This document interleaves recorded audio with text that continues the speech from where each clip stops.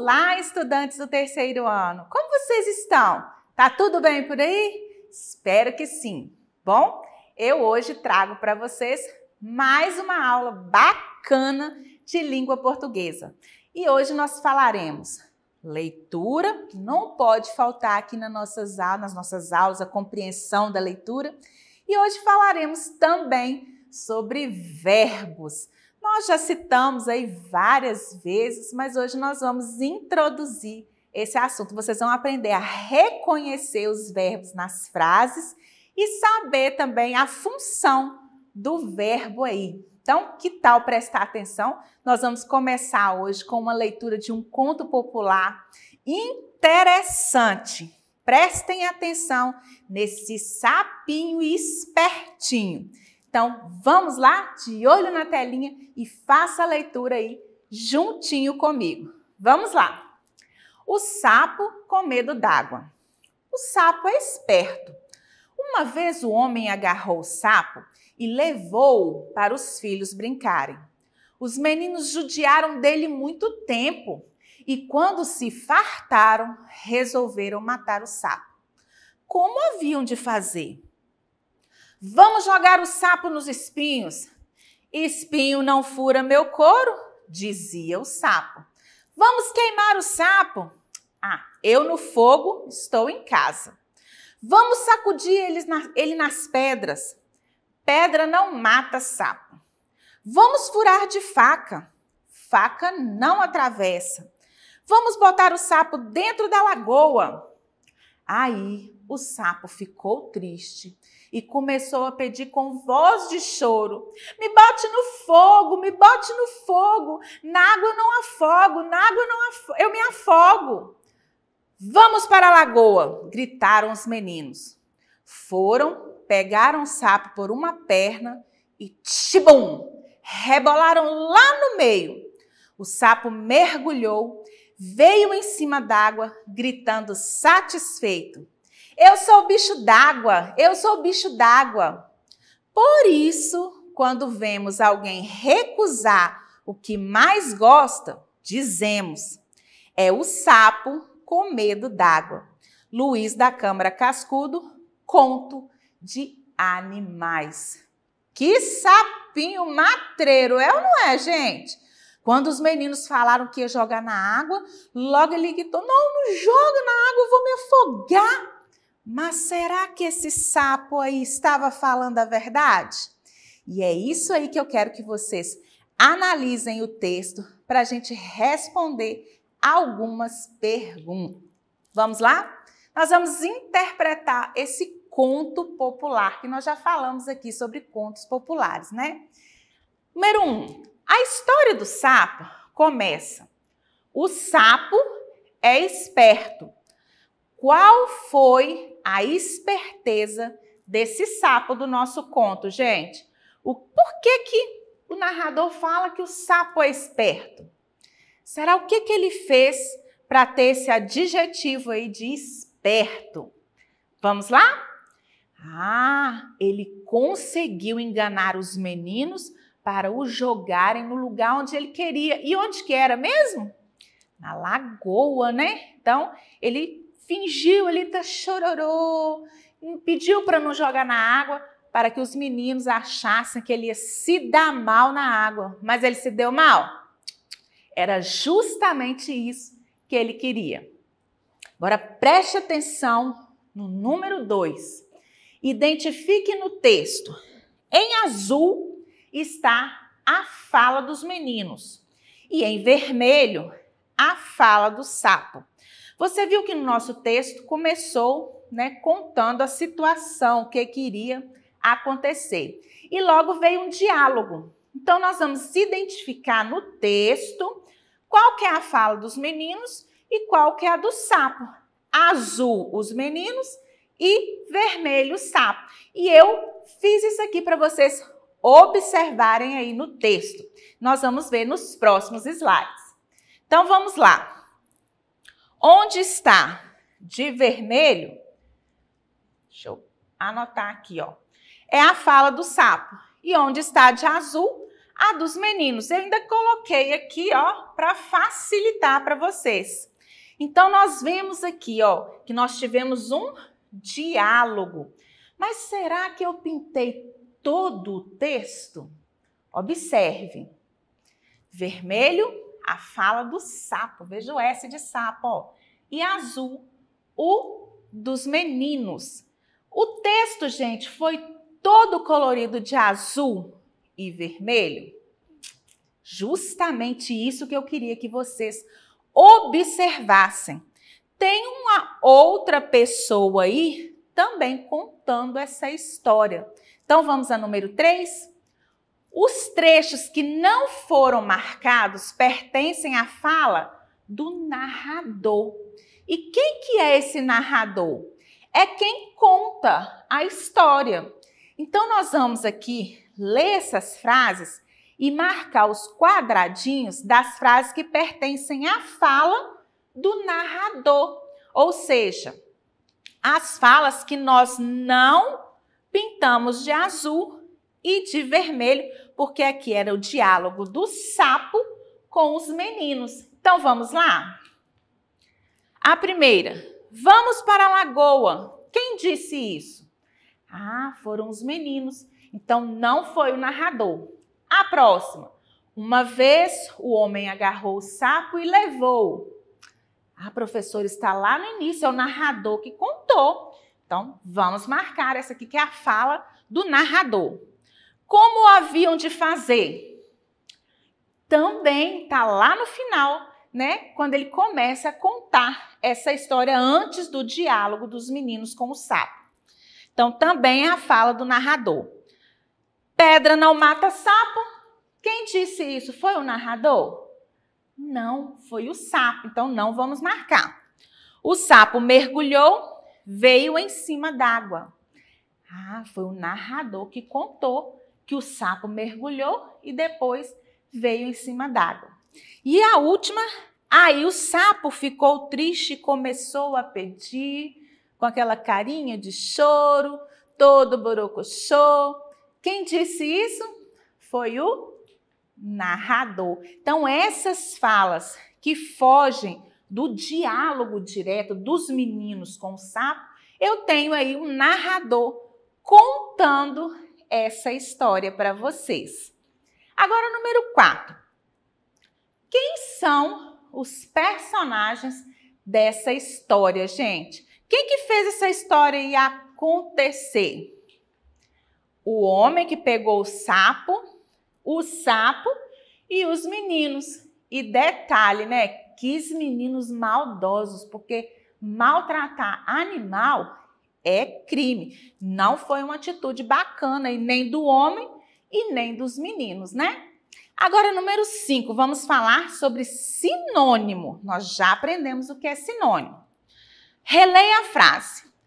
Os meninos judiaram dele muito tempo. E quando se fartaram, resolveram matar o sapo. Que judiação! Que palavras ou expressões podem ser usadas no lugar das que estão destacadas, mantendo o mesmo sentido? Então, qual outra palavra que eu poderia colocar no lugar de judiaram e se fartaram, que eu não mudaria o sentido da frase? Vocês descobriram aí? Ó, no lugar de judiaram, nós poderíamos colocar maltrataram, né? Porque foi isso que esses meninos fizeram. E se fartaram foi quando eles se cansaram. Eles enjoaram de ficar fazendo maldade ali e resolveram matar o pobre do sapo. Então, judiaram é o mesmo sentido de maltrataram. E se fartaram, o mesmo sentido de se cansaram, enjoaram. A próxima. Ligue o que os meninos usariam contra o sapo a cada um dos argumentos do animal para se salvar. Quando os meninos falaram lá, ó, vou jogar nos espinhos, o que, que ele disse? Isso mesmo, não atravessa meu couro, minha pele. E as pedras? Pedras não matam sapo. E o fogo? Ah, quando os meninos falaram, vamos jogar no fogo, o que, que ele disse? No fogo eu me sinto em casa. E olha a esperteza do sapo. E na água? eles falaram, o sapo falou que iria afogar, ou seja, ele queria enganar esses meninos. Agora nós vamos entrar bacana o nosso assunto hoje, que são os verbos. Mais uma palavra aí da nossa classe de palavras. Nós vamos aprender o que são os verbos, como identificar na frase. Então, primeiro nós vamos aprender o que são os verbos. Então, vamos lá? Verbos. Verbos são palavras que indicam ação, estado e fenômenos da natureza. Isso mesmo. Então, os verbos, eles são palavras dentro da frase que eles vão indicar uma ação, um estado ou até mesmo um fenômeno da natureza. Vamos aos exemplos para vocês entenderem bem, ó. O menino pula a janela. Pula é uma ação que o menino está praticando. Então, pula é o meu verbo que indica ação. Olha a próxima frase. O menino está com saúde. Ó, está vai me indicar como o menino está, o seu estado, que se refere também ao menino. Então, está, ele vai me falar um estado dentro da frase. Está é um verbo. Preste atenção na última frase, ó. Hoje choveu bastante. A palavra choveu indica um fenômeno da natureza. Então, choveu também é um verbo. E o verbo, gente, ele é muito importante dentro da frase, porque é ali que vocês vão entender o sentido dessa frase. E o verbo é só para me falar sobre ação, estado ou fenômeno da natureza? Não, o verbo também é importante porque os tempos verbais, eles são os momentos em que aquela ação, aquele estado ou aquele fenômeno da natureza se passa. Professora, como assim? Por exemplo, dependendo como o verbo está colocado na frase, ele vai te dar uma ideia. Três tipos de ideia. Presente, a ação está acontecendo agora. Passado, a ação já aconteceu, né? Já se passou. E o futuro ainda vai acontecer. Veja os exemplos, ó. No presente, agora estudo na escola. Então, no presente momento, estudo na escola. A ação está acontecendo. Presente. Passado. Ontem estudei em casa. Então, já aconteceu. Então, me dá uma ideia de passado, algo que já se passou. E o futuro. Amanhã estudarei no centro de estudo. Ou seja, essa ação ainda vai acontecer, né? Ainda não aconteceu, ela vai acontecer. E o que vai acontecer ainda? Nós temos o futuro. O que é bom mesmo é praticar. Então vamos lá. Eu trouxe aqui, ó, assinale a alternativa correta. O que são verbos, mesmo gente que nós falamos hoje? Será que é a primeira opção? A palavra que caracteriza o sujeito? O substantivo? Será que é? É aquela que traz características? Não, professor, isso é o adjetivo. Isso mesmo. Será que é a palavra que expressa ação, estado e fenômeno da natureza? Ah, eu falei sobre esses três casos de verbo aí: ação, estado, fenômeno de natureza. Então pode ser essa aí, essa está completinha, mas vamos ver as outras. Palavras que expressam ação, reação e fenômeno da natureza? Eu falei isso? Não. Variação da língua portuguesa que indica só ação? Não. Então a nossa resposta completa, certinha, é essa palavra que expressa ação, estado e fenômeno da natureza. Agora analise essa frase aqui, ó. O menino caminhava pela estrada. Onde está o verbo dessa frase, gente? O verbo é o menino? É o caminhava? Ou é estrada? Pensa aí. Qual que é o verbo? Qual a palavra que me dá a ideia da ação da frase? Ficou fácil, né? Isso mesmo, o nosso verbo está aqui, ó. Caminhava é a resposta correta. E a nossa última atividade, preste atenção também na frase. Hoje estudo matemática. Em que tempo verbal a frase está? Quando eu falo assim, hoje eu estudo matemática.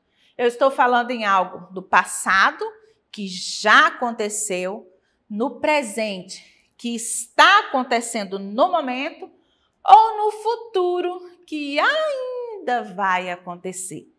Preste atenção que o hoje vai te ajudar. Quando eu falo hoje estudo matemática, eu já tenho uma ideia de que essa ação está acontecendo. Qual que é esse tempo verbal? Isso mesmo, é o presente, é algo que está acontecendo. E Andrezinha chegou, sinal que eu tenho que ir embora. Passou rapidinho a nossa aula, né? Nós aprendemos hoje um pouquinho mais sobre os verbos que trazem ação, estado, fenômeno na natureza. Aprendemos a identificá-los em frases e também aprendemos o tempo verbal, ou seja, as frases podem estar no passado, no presente ou no futuro. Preocupa não. Nós vamos ainda aprender muitas coisas sobre os verbos. Vamos aprender que a, a nossa aula passada de pronomes e a nossa aula de hoje, ó, tá amarradinha. Pronomes e verbos andam juntinhos. Vamos praticar muito mais. Então, hoje eu vou ficando por aqui, mas não posso deixar de pedir que vocês acessem as nossas atividades na plataforma SMED Como eu faço isso, professora?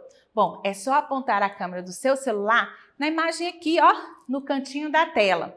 Também não se esqueçam de acessar nossas redes sociais e se inscrevam no nosso canal do YouTube SMED Compartilhe as nossas aulas, divulgue nos, nos, grupos de WhatsApp que vocês têm, fale com o coleguinha que ainda não assistiu, falou, vai lá, tem uma aula de verbo bacana para você aprender. Vamos espalhar também conhecimento, né, gente? Usar as redes sociais para o bem. Eu vou ficando por aqui, mas não posso deixar, ó, de deixar, ó, beijinho no coração.